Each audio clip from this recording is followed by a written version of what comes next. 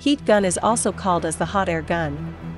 It is an power tool that uses the hot air blown from the heating element by means of an electric motor to heat various materials and products. The hot air gun is mainly composed of a heater, motor, temperature sensor, PCB, and enclosure.